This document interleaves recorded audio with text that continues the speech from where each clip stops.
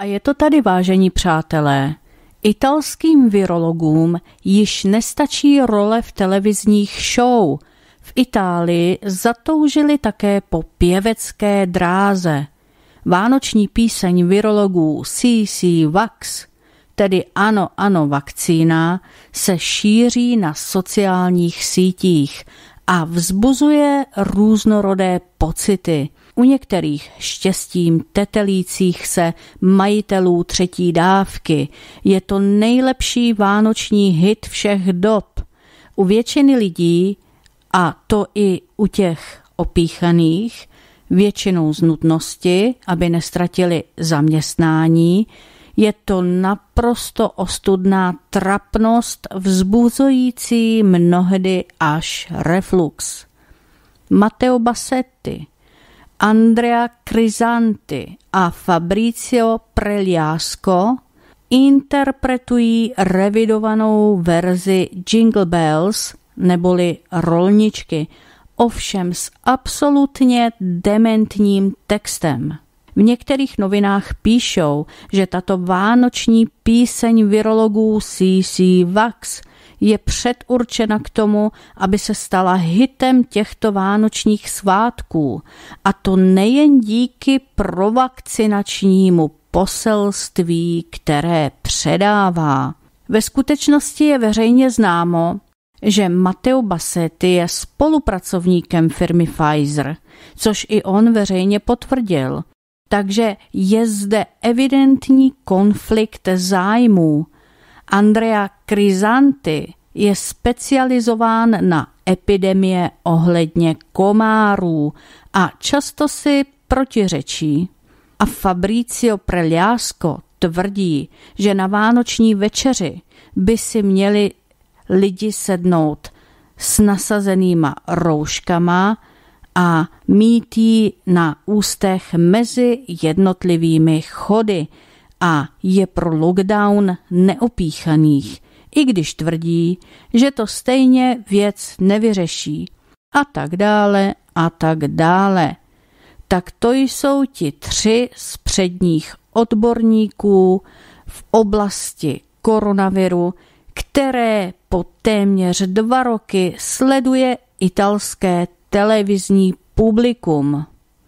Tito lékaři přijali pozvání do vysílání Rai Radio Uno do pořadu s názvem Un giorno da pecora, což by se dalo přeložit jako ovčí den. S těma ovcema to každopádně sedí. Tento pořad uvádí Jeppy Kučáry a Giorgio Lauro, kteří tedy, dá se říci, stvořili trio virology, trio virologů. Iniciativa prý byla vytvořená s cílem zvýšit senzibilizaci lidí, aby podstoupili očkování antikovid sérem a prožili Vánoce bezpečně. A zde je ten text, který jsem pro vás přeložila. Raději si prosím k poslechu sedněte. Ano, ano, ano, ano, ano, vax, nechme se očkovat. Pokud chceš v klidu být, prarodiče nelíbej. Ano, ano, ano, ano, ano, vax, nechme se očkovat. Covid už tu nebude, pokud nám také pomůžeš. Pokud chceš jít do baru, s radostí oslavovat, dávky si musíš nechat dát, abys jsi si pěkné Vánoce mohl udělat. Sněz si panetone, tedy italskou vánočku, zajdi si na injekci, chraň tak ostatní, včetně tebe. Ano, ano, ano, Vax, nechme se očkovat. S třetí dávkou budeš mít radostné svátky. Ano, ano, ano, ano, ano, Vax, nechme se očkovat. Covid už tu nebude, pokud nám také pomůžeš. Ano, ano, ano, ano, ano, Vax, nechme se očkovat. Ke snížení počtu nákazy dávky také třem králům. Ano, ano, ano, ano, ano, vax. Nechme se očkovat. Covid už tu nebude, pokud nám také pomůžeš. Tak a teď vám to umělecké dílo pustím, když už znáte text, abyste mohli sami posoudit umělecký výkon virologů. Po té jejich písničce vám povím, co se o tom píše v jiných novinách a jaké na to mají názor lidé v diskuzích na sociálních sítích.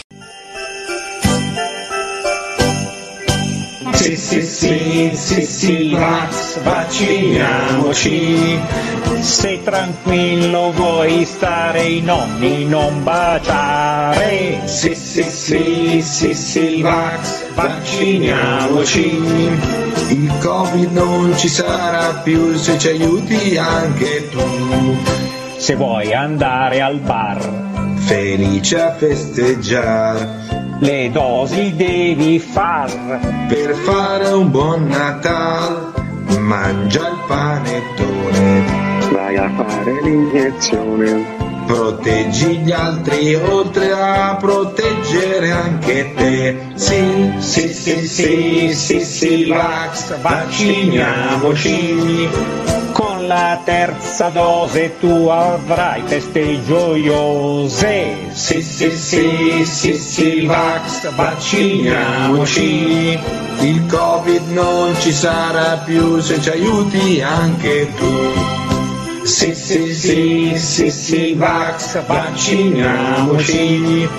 Per il calo dei contagi. Dosi anche ai renaggi. Sì, sì, sì, sì, sì, vax, vacciniamoci.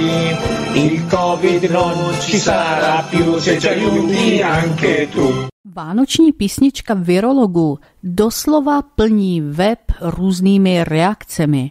Například na webu Il Sussidiario se píše, že Stručně řečeno, záměr byl nepochybně pozitivní, ale vánoční píseň virologů, jak se mohlo předpokládat, vyvolala roj kontroverzí na sociálních sítích, kde se jejich pěvecký výkon začal šířit rychlostí vychru. Zejména na Twitteru se video stálo trendy a vyvolalo jedovaté komentáře. To je úroveň odborníků.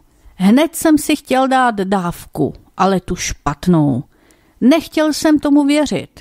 Kéž bych je nikdy neviděl. Doufám, že je to fake. Jestli ne, tak jsou zralí na povinné lékařské ošetření. Jsou také tací, kteří se zaměří na veřejnou službu a pustí se do ráj. Veřejnoprávní televize s uživatelským poplatkem ráj v návrhu zákona. Myslím, že byla dosažena hranice slušnosti, za kterou je těžké se vrátit. Kromě tohoto videa je však třeba ještě jednou vyzdvihnout refrén virologů.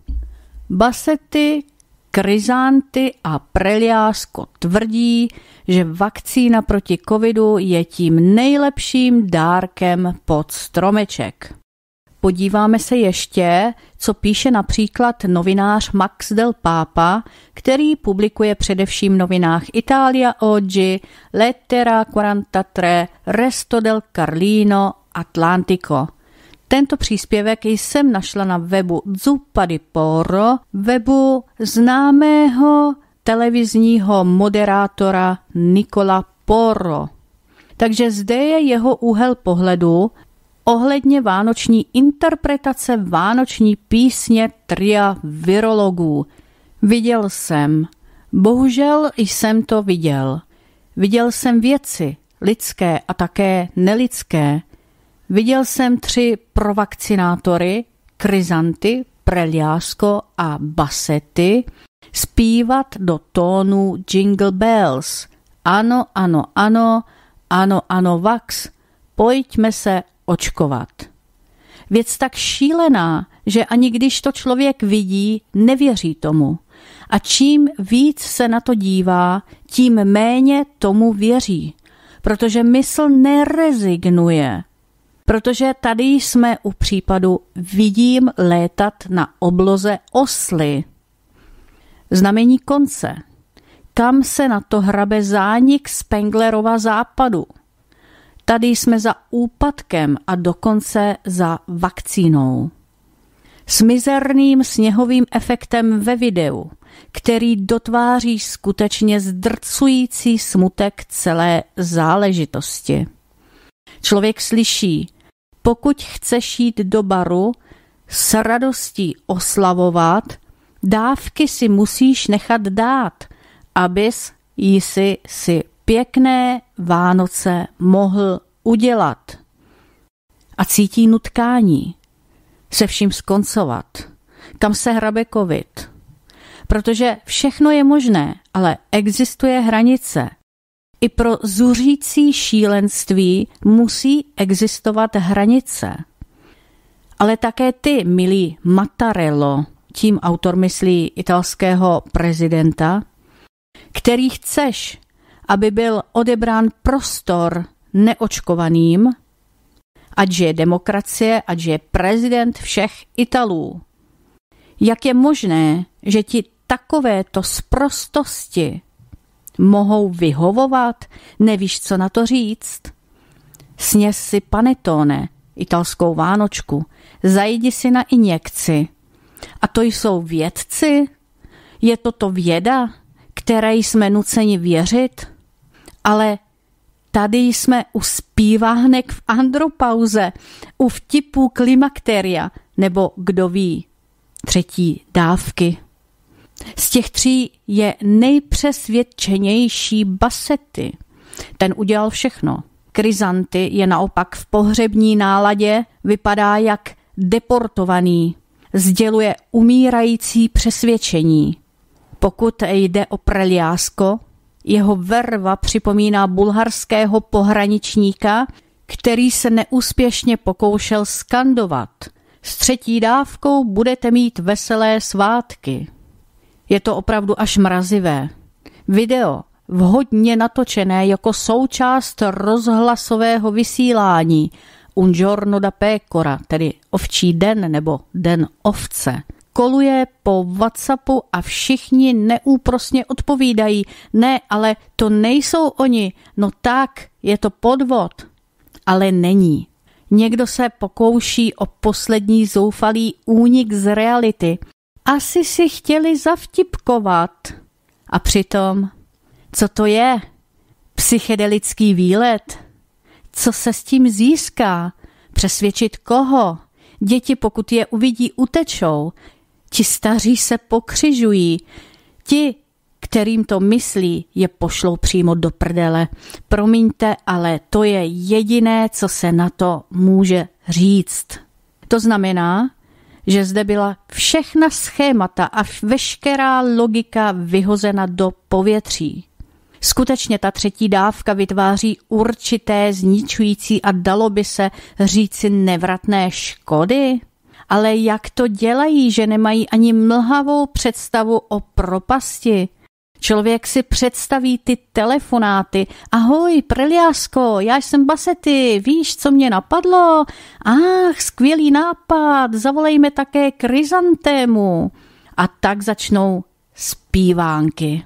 Doufejme jen, že tyto záběry neobletí svět, ale v to je marné doufat. Bude platit, jak se říká, že Ital stále zpívá, kytara a mandolína. Ne, virolog a vakcína. Nestačí ty žertovní představení v centrech pro děti, ten ohavný bordel, ta smutná párty přesvědčit ty nejmenší, aby se dali píchnout. Ale já říkám, pamatujete si, když jsme byli na řadě my před desítkami let? Šli jsme ruku v ruce s maminkou lehce neklidní a kdybychom zakňučeli, stačil přísný pohled a osudová věta.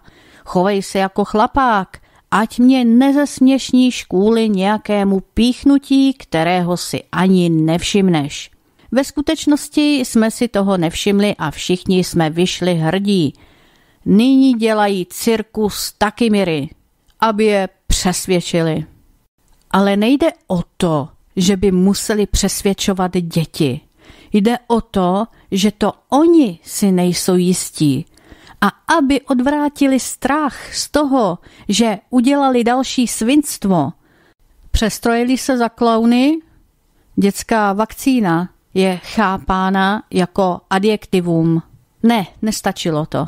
Potřebovali jsme ty tři děsy, kteří se netrefí do žádné správné předpovědi nebo prohlášení a čtoucí hrbáče zpívají ke snížení počtu nákazy dávky také třem králům. S hrobovým hlasem a voskovou tváří již vypadají, jako by byly jednou nohou v jámině. Mistrovské groteskní dílo, které nelze brát na lehkou váhu, potvrzuje, že země je v prdeli. Pokud takovou halucinaci přijmeme, znamená to, že jsme dospěli ke konci. Dost. Zavřeno. Konec. Utápíme se ve výsměchu jejich baletu dávek, v očkovacím rasismu, v zeleném pasu, který se má přesto testovat, uzavírajícím se konformismu a psychických obětech, terorizovaných nějakým ministrem, který má černý pás keců. Nestačí trojité dávky, růžence testů, vracíme se k barvám, k selektivním lockdownům, ale uvidíte, že pak budou totální, předstírají, že zastaví virovou cirkulaci s vrstvičkou roušek. Jsme kořistí hysterie z čísel, vždy týkající se nakažených, nikdy hospitalizovaných nebo zesnulých. A oni myslí na to si zpívat naočkujme se. A možná si myslí, že to je kdo ví jak geniální. Může se stát, že je zavolají i na hudební festival Sanremo. Je jasné, že teď se všechno přizpůsobuje, že všechno je reality show, že čím je situace vážnější, tím je směšnější. A tohodle by nás opravdu měli ušetřit. Alespoň tohoto, alespoň o Vánocích. Je to opravdová kravina. Takže zde se z duše vyjádřil tento známý novinář a já ještě dodám, že na konci videa je pak napsáno šťastné svátky, šťastná vakcinace, to už fakt nejde komentovat. Pravdou je, že do pekla se sestupuje malými krůčky. A nyní trochu historie o původu Vánoc, tak jak se o nich píše v Itálii a tak jak normálně probíhají, když nejsou žádné restrikce. Pojďme se tedy alespoň na chvilku vrátit do normálu touto připomínkou. Vánoce jsou svátky, ve kterých křesťané oslavují narození Ježíše Krista, který pro západní křesťanskou církev připadá na 25. prosince. Narození páně je ve skutečnosti často předmětem křesťanského umění. Dalším způsobem, jak tuto událost znázornit, je Betlém – který lze zakoupit již hotový nebo si ho připravit doma.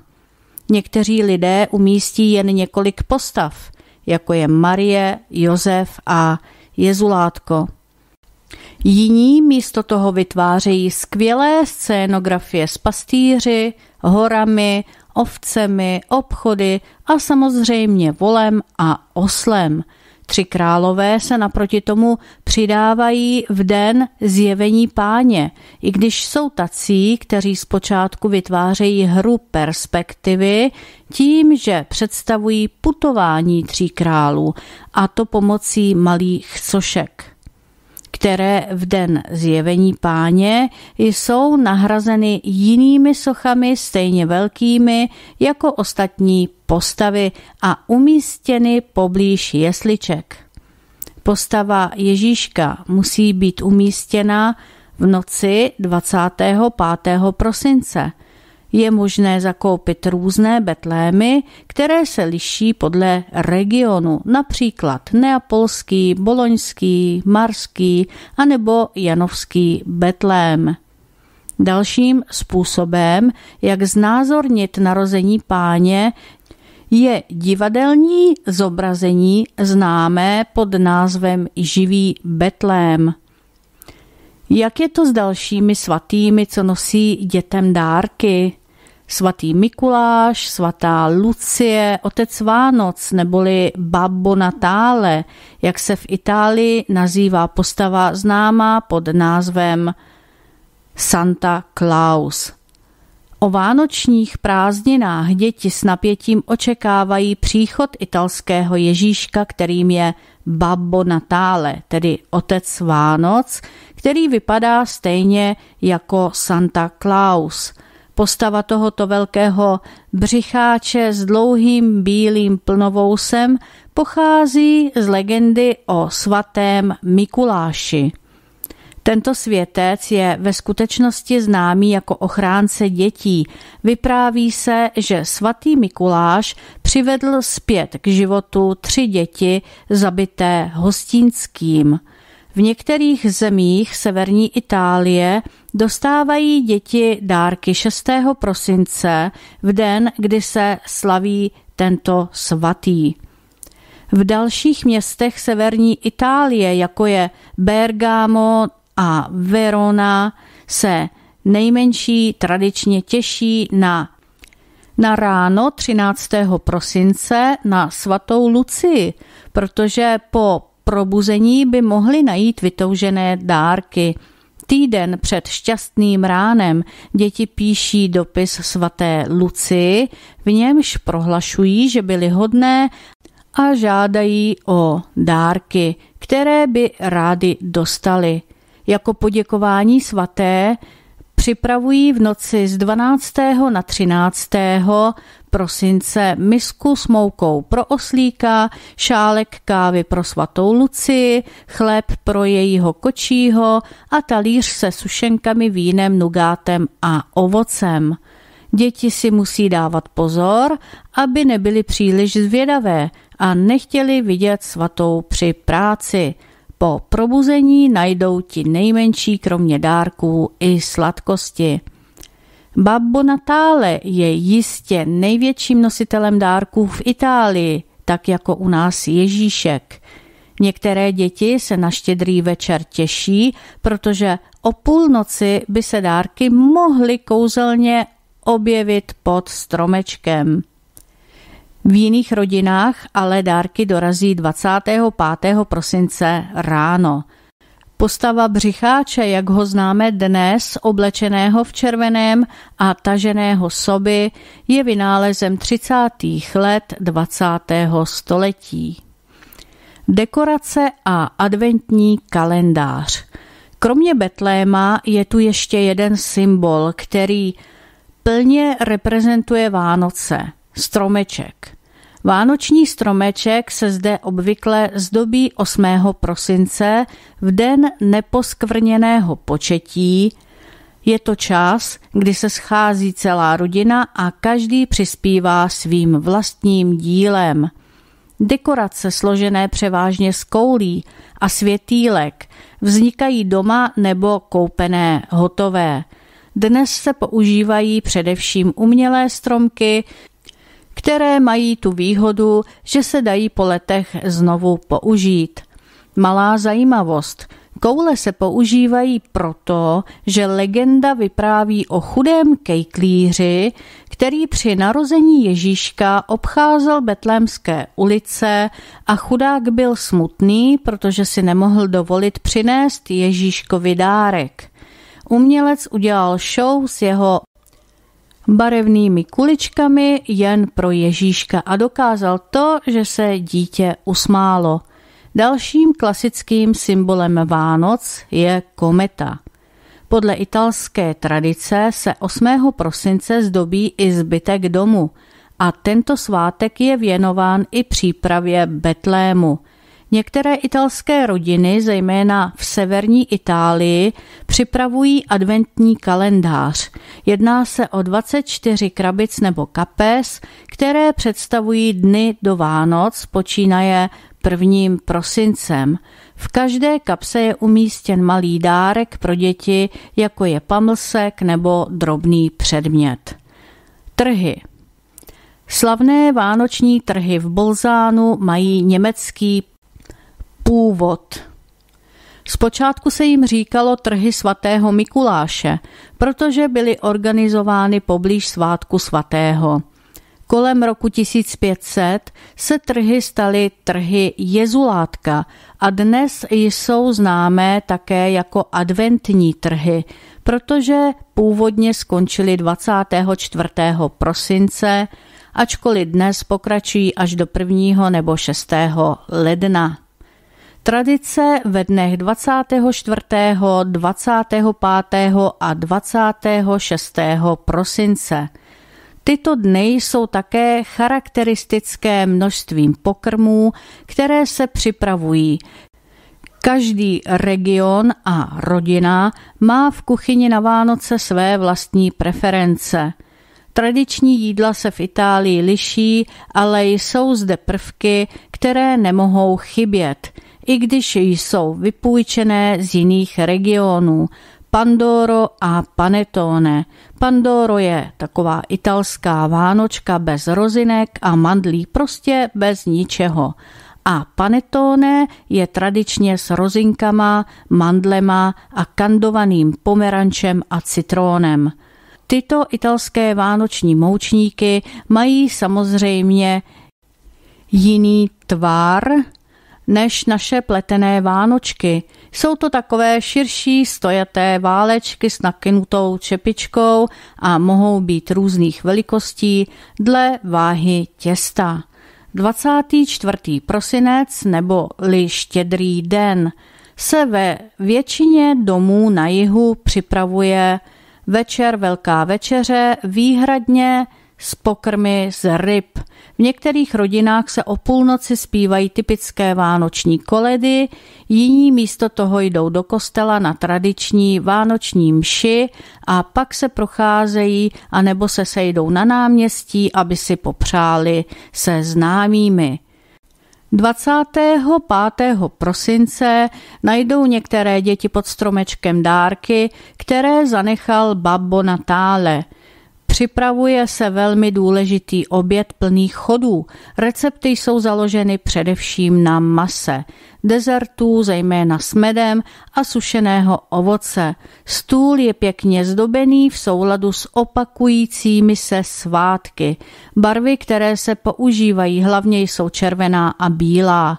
Italských jídel spojených s vánoční tradicí je opravdu mnoho a liší se region od regionu. 26. prosince je svatý Štěpán, den, který se stal v Itálii svátkem v kalendáři v roce 1949. Během tohoto dne se jí jídlo zbylé z předešlých dnů případně se připravují polévky. Ovšem v dnešní době, co se týče tradiční sváteční kuchyně, opravdu záleží na každé rodině, co mají rádi. Befána, taková dobrá čarodějka. Vánoční prázdniny končí 6. ledna zjevením páně. Befána je znázorněna jako stará dáma s hrbolem a hákovým nosem, Cestuje na koštěti, je oblečená v hadrech a špinavá odsazí, protože když může, vchází do domů komínem. V noci z 5. na 6. ledna nechává dětem, které byly hodné, dárky a sladkosti. Těm méně hodným nechává kousky uhlí. Dnes je to ve skutečnosti cukr, připomínající tvar a barvu uhlí. Befána je převážně italský zvyk a shoduje se s příchodem mudrců do betlemské jeskyně, aby přinesli zlato, myrtu a kadidlo jako dárek. V České republice tento zvyk, hodné děti sladkosti a zlobivé uhlí, připomíná mikulášskou nadílku. Populární tradice – ve středojižní Itálii je velmi častá postava dudáka, což je hudebník, který obchází ulice vesnic a hraje na dudy. Velmi starobilý dechový nástroj. Někdy dokonce zaklepe na dveře domů a pustí nějakou hudbu výměnou za nějaký milodar. V údolí Austa jsou po městech rozšířené živé betlémy. Děti představují hlavní postavy, zatímco dospělí plní role řemeslníků minulosti a nabízejí návštěvníkům jídlo a pití. Na Sicílii se v některých horských vesnicích zapalují v noci na 24. ohně, aby se zahřálo jezulátko. Večer a Štědrý den se v některých rodinách vyprávějí dětem legendy a pohádky, aby je pobavili před příchodem Ježíška, v Itálii tedy Babo Natále. Během těchto svátků se lidé scházejí doma s přáteli a příbuznými, aby si zahráli karty nebo bingo. Tradice související s Vánocemi je mnoho a liší se rodina od rodiny. Právě v těchto dnech jsou znovu objevovány zvyky a tradice, které mají kořeny v jejich původu, aby zůstaly živé i v průběhu času. A to je, vážení přátelé, to nejdůležitější. Musíme si zachovat ty naše tradice, protože to je naše identita. Takže já vám nyní pustím nějaké pěkné písničky pro dobrou náladu a přeji vám všem krásný průběh dnešního večera.